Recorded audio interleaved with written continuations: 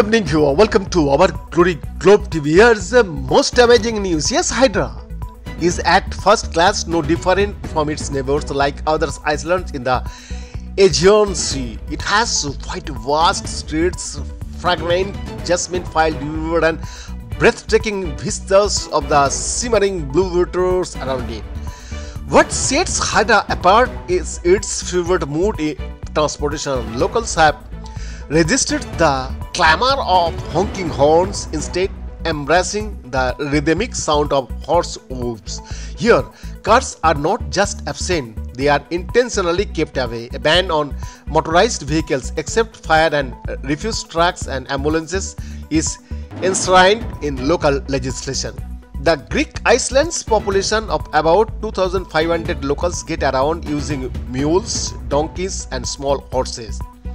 Stepping off the ferry and onto Hydrafood, the heart of the Iceland, visitors are made by small horses gracefully waving their way through the cobblestone streets and giving them a taste of the Iceland's unheard pace.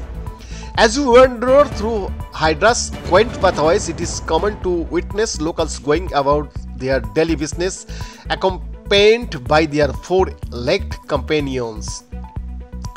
From Kaminia, a tranquil village on the southern coastline adorned with traditional stone houses, to Mandraki on the Iceland's western shores, renowned for its pristine waters and lead black aura, the Iceland is intertwined with their presence.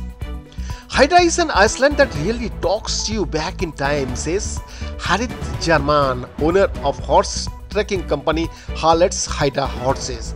All the transportation on this island is done by horses or mules because there are no cars, everyone's lives are a little bit calmer.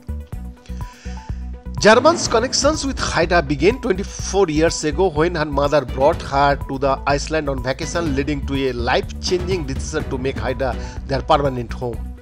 It was a decade later, during Greece's economic crisis, when German faced pressure to sell her cherished horse Chloe. Determined to keep her beloved companion, she decided to establish her horse trekking business, a venture that not only supported Chloe but also allowed her to share her love for the Iceland's landscape. Behind the effort, Glory Globe TV.